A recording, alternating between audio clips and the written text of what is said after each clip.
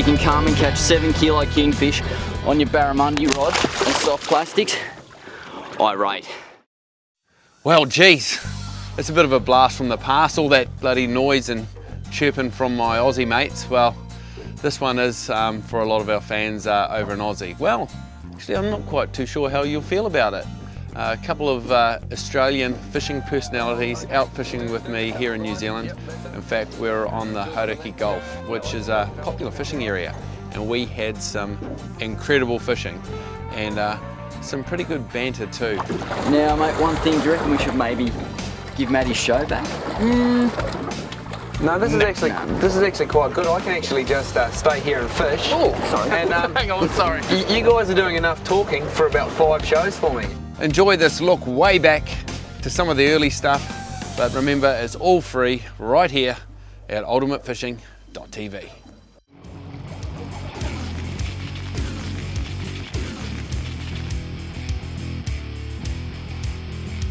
This week on the ITM Fishing Show, we've got something very special lined up for our viewers. We're heading out to one of the very best snapper and kingfish areas in the Hauraki Gulf, and we've got a couple of very special guests from Australia. These guys have got their own TV show, they're very good fishermen in their own right, and their names are Paul. Hi, I'm Paul Worsteling I'm Lee Rayner. and we're from iFish. I tell you what, I'm looking forward to fishing New Zealand. This is going to be amazing, Lee. Mate, Matt keeps telling us all about the kingfish and the snapper. We had to come and do it Uh, ourselves. Excuse me, guys. Yes, mate. um, Yeah. Great that you've introduced yourself to our viewers. Yeah, But um, I was just doing an intro there. yeah. Okay. our show or your no, show? no, no, Or, I mean, we're filming our show. Oh, right. So I tell you what, why don't you guys go grab your gear? I'll put the boat in the water and we'll get out there now because the kingfish are biting. Sounds good. Let's go. Don't run him over.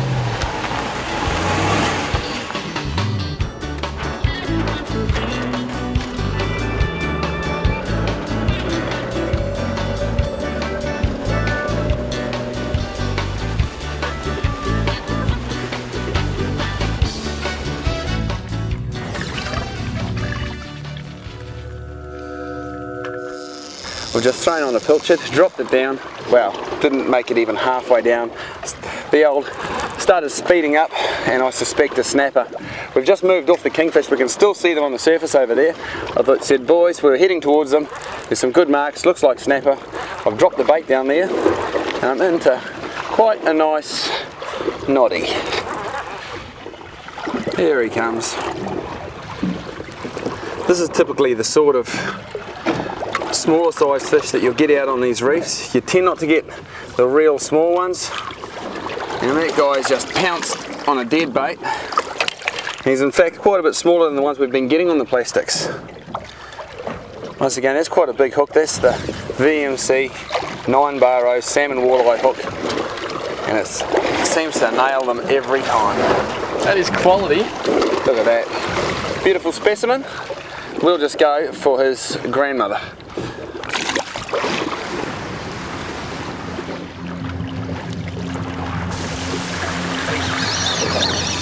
Oh, hit. Oh, hang on. Oh, you got one there too. I think I'd say you might have a king, Lee. I think so. Lee's hooked up. Paul's left his rod in the rod holder oh, and hooked up again. Um, and I've got my plastic on the way down. It looks like it's starting to fire up, lads. You think? Oh, oh, okay. Do, do the shuffle, guys. Yep, that's it. Down here. yours I got that. Paul? Yeah, No, no, no, worries. Oh, fell off. That's all right. I think there's plenty more where that one come from. Didn't that hit like a ton of bricks? There's just nothing nicer than using a good little bait caster, such as a Calcutta. And that one there was down on the bottom, just jiggling it around. Oh, and it's lit up. We've obviously come into a patch of fish. All right. You gotta love it, eh? It's alright. All right. Yeah. Oh well. Look, it'll do. Yeah. I did say, I did say that this is just a wee stop. I mean, really, we're only eight miles out off the coast on a on our way, making about a 30 mile trip across the Great Barrier Island, and we're not a long way from New Zealand's most populous place, Auckland. This is what Paul and I live for, and we, we do, don't we, mate? We just travel all around the country. Just trying to Find- find this. Exactly right. And I've got colour, and I and it looks like the colour of a kingfish. Matt, you get any big kings here, or is I mean, you guys are big kings, 20 kilos, but to us, 10 kilo sort of fish. Um, yeah, 10 kilo fish are fairly common, particularly on the when you're fishing these plastics or jigs. The 10 kilo fish, and on this gear, you, get a 10 kilo fish, and it does stretch you. It really does stretch you. No, there we go. Wow, nice. Well, nice scrap out of that fish. Well done, mate. Now that was what was responsible for those screaming runs. We won't muck around with that fella too long. If you can just, um, If I cut that off. and this one, just like the other ones, is on his way. Look at that. No, actually, oh, he's a nice little fish. Lee, yeah, how sounds that Yeah. fish? I actually sort of took Matt's lead a bit and he, he said try rigging it this way and it's probably not a method we use so much in Australia. The majority of our fishing is all with a jig head. But I thought, nah, when in Rome, do as the Romans. So I've gone for Oh, that's a better one. big worm hook That's a better one. on a squidgy flick bait and that is the end result. An absolutely beautiful oh, early morning king. Wow, awesome. Nice one, Paul. It's fairly well um, constant, I would have thought. I, look, I could be wrong, but I think we're going to get a few more bites. I'm going to get this out of the way. Well, I'm thinking this action's getting a bit crazy. We've only been here 15 minutes. We've caught a handful of fish already. To fit all this in in the show, we're going to have to go to a medley.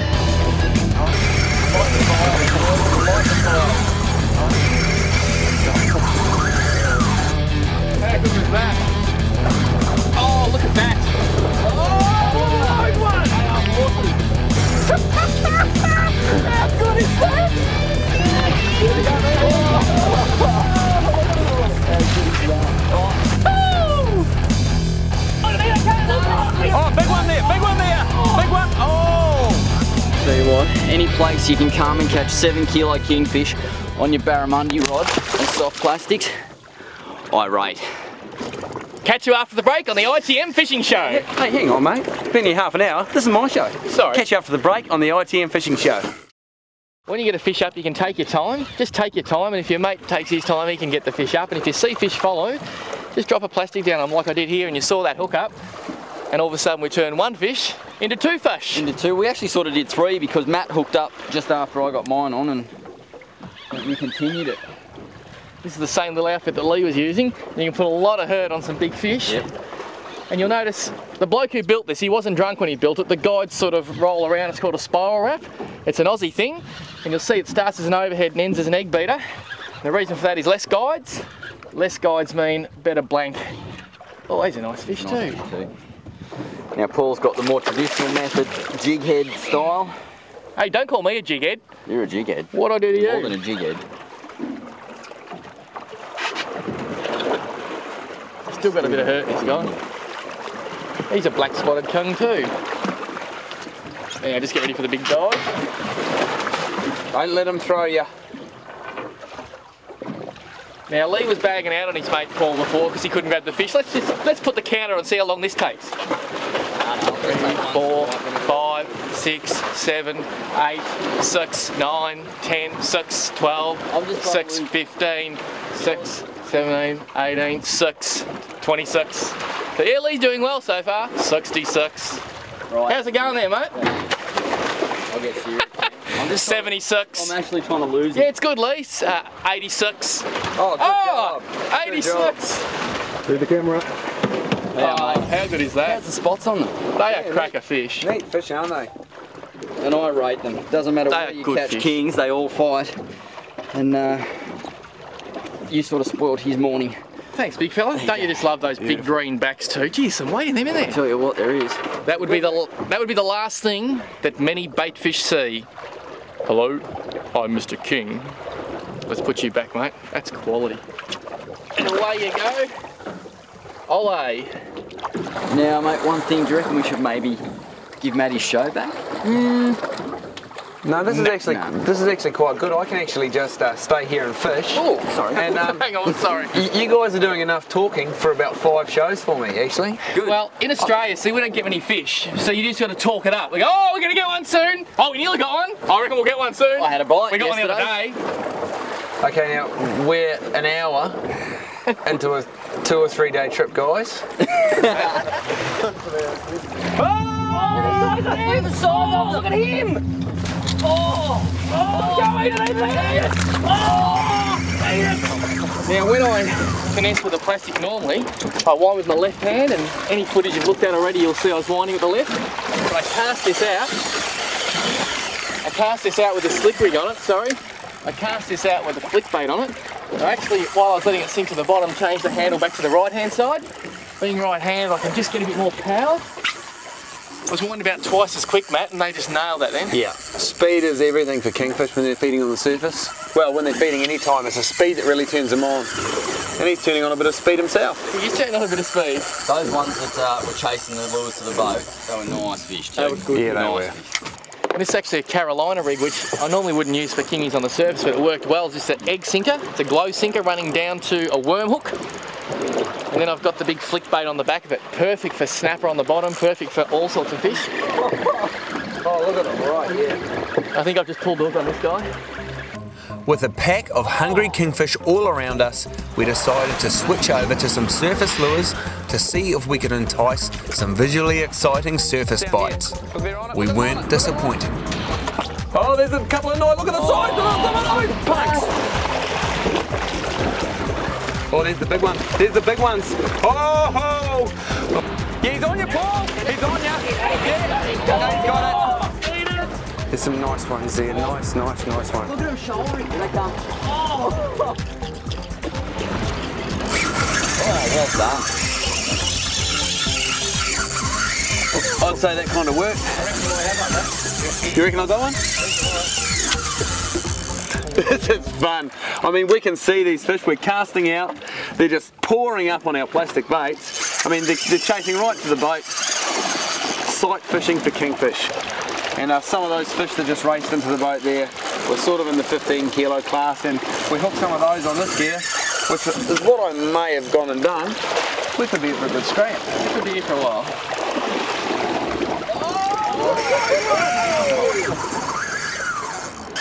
The weather's good, the fishing is crazy, and our trip has only just started, guys. I'll tell you what, if our arms gonna last for four days with this. I think you'll find. As, oh, yeah, he bit right there. Oh, mate. How's the size of him? He was a good one, man. Oh, yeah. He was a good one.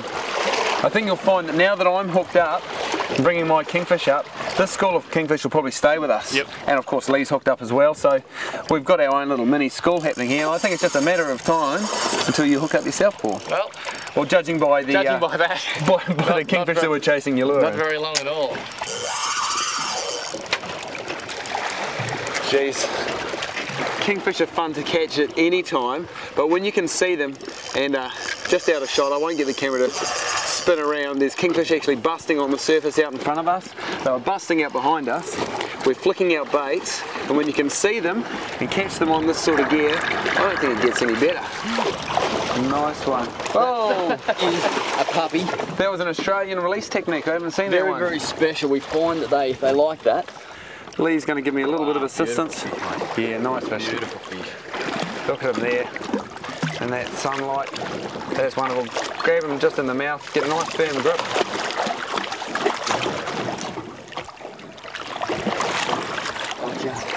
You got him, mate. Decent fish. Look at that. Awesome. Thank you very much. If you just keep a grip on that fella, hold him in the light. I'm just going to pull this lure out. And this guy here is about half the size Isn't he? of some of the ones that There were some we- trucks that were behind him. Look at that. That is still a world-class fish. A lot of fun on this gear. Right, let him rip. Let him go. Thank you, Lee. Too good, Matt. Thank you. No worries. No, no, thank you. No, thank you. Yeah. Hey. Woo. Woo there, Lucky. He's got mates with him, guys. Straight down. Yep. No, it's good. I just cast back to you, mate. Yeah. He's got some big mates too. I'm one through. It can often work. We were all throwing our lures, and the fish had seen our lures for probably 20 or 30 casts. A simple change. I went to a different blue-coloured plastic. And first throw, got nailed. Light the fires, boys. Light the fires. Yes. Oh, good work. Well done. Look at that. That is These awesome. guys are hooking up left, right, and centre. Meanwhile, I'm just changing my little reel from my Twin Power 4000 over to right-handed, just so I can get that extra little bit of speed out of it, retrieving with the right hand. Because that speed is what turns on these kingfish. Big fish. A bit better. Oh, that took about three cranks of the handle. And that is going for it. Look, I can see them. I'm hooked up. These guys are hooked up. There's kingfish all around the boat. This is madness. This is squidgy madness at its best. Triple hook up on kings. It's all happening.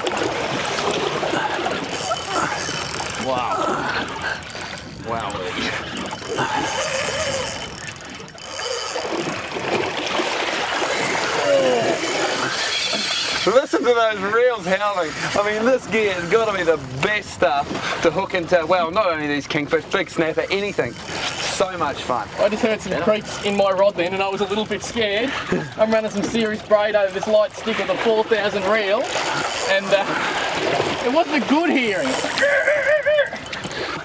So guys, as soon as I hooked up first, I believe you guys are going to put down your rod to help me land my one. Well, that's the way it might work in New Zealand, mate, but in Australia, it's every man for himself. so, good luck. You know the old Australian saying, you help out a mate? No. Okay, I think we could be wrapped up. I'm wrapped up with someone. I'm gonna just, Okay, I think maybe with you, Lee. yeah. yeah. Okay, so if you can come around here. Before I can jump back in. I'm not falling. We These are nice fish. These are nice drag fish. off a little bit. Okay, we'll just see with. Oh, this isn't too bad. This isn't too bad. If we can just. If I go Yeah, around there. under. I go under, around and under again. Uh, Are we on. getting anywhere or are we twisting up more? Uh, I think we might be. No, we're going the wrong way. Okay. As usual, Murphy's Law. I tell you what, they've only known each other for about two hours, they're dancing already. Yeah. This could be a long four days. And there we go. That's just a quick look at that rig. I'm using a Lumo sinker. Whether it's going to make any difference or not when they're biting like they are, I'm not too sure. It's not a huge fish, but you saw just how they were lighting up. If we can get into some of those bigger ones, we're going to have our work cut out. So with that in mind, I'm going to put on a bigger lure. That might be the go, mate.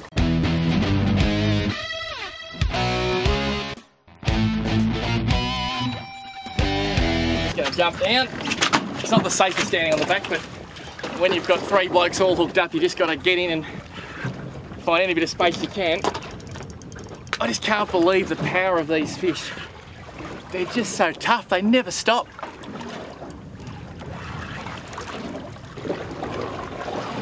Oh, that's a nice kick. Wow. You got a nice one on? Yeah, I got a good one. He's a bit, of, a bit of a horse. And if he's a horse, he's not a pony. Okay, I'll give you a wee bit of a hand with that stuff. Good skill, good skill. What do you know? Drop again and hook up again. There were some bigger fish that came up then. Yeah, some bigger fish. This really is madness. I thought we'll bring the guys out here to this reef because there's some really good snapper fishing and we do catch a few kingfish here as well. Well, the trouble is the snapper are on the bottom and we can't get our lures through them but I think you'll uh, just have to accept my apology. Prepared to put up with it. I, I don't think I've actually been trying that hard though. I've only been sinking my plastic down about 30 feet. Okay, You might just need a hand with this little grip. no sweat. It's not too often you can actually get to chase kings, Look at- look the especially kings of this size in open water on light gear. So you sort of make the most of it while you can. The same size. Here we go. Wow. That there is a good effort. If you just want to slide that hook out, we won't muck around, mainly because I want to get them back in the water, get a lure and Mate, how big is that fish? That fish there is around, I put that at about nine kilos, that fish. Nice on spin gear. There's a very nice one on spin gear. There's the worm hook. Drop him, and drop he's him on back. his way back in. There's the worm hook. There's the egg sinker I was talking about. A nice squidgy flick bait. Did the job of these kings. Let's see what fish is doing the job on Lee. These be big. Oh dear. We call this one Matt. Yeah, no mate. No, mate. He's not. He's not. He's a good. He's a, good fish, but That's the interesting thing with kingfish. You can catch one two kilos and it can fight harder than one that's 10 kilos. Some of them just grow up on steroids. Wow. That's how you do it. Grab him through the jaw there. Lee, that is a beautiful Not a horse, but a nice fish. He has just inhaled that. That. Give me a look at that lure. Look at that, just like a little pilchard.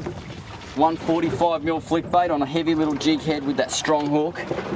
And you know the interesting thing, we're using a couple of different techniques on the squidgies and they're all working. We've got that Texas rig, we've got the jig head, you've got a plastic. Uh, let me just say that when they made the plastic that Matt's using, they used 4,000 old car tyres. Could you actually get a bigger one? That's right. The old big bait, big fish theory. Nice. We apply it to most things here. There you go, mate. Thanks, mate. Grab him. Pop him back. Too good. Beautiful. Let them rip and we'll move back up, eh?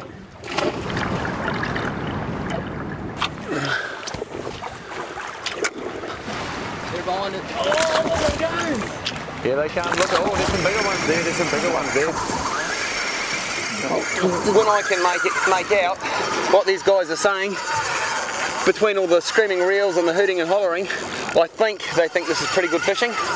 But we have got better yet to come. Stay tuned and see some of the really cracking spots I'm going to take these Aussie boys to. We hope you enjoyed this classic episode. But if you want to see the latest and greatest stuff from all around the world, you can get it all for free at ultimatefishing.tv or by downloading the Ultimate Fishing app.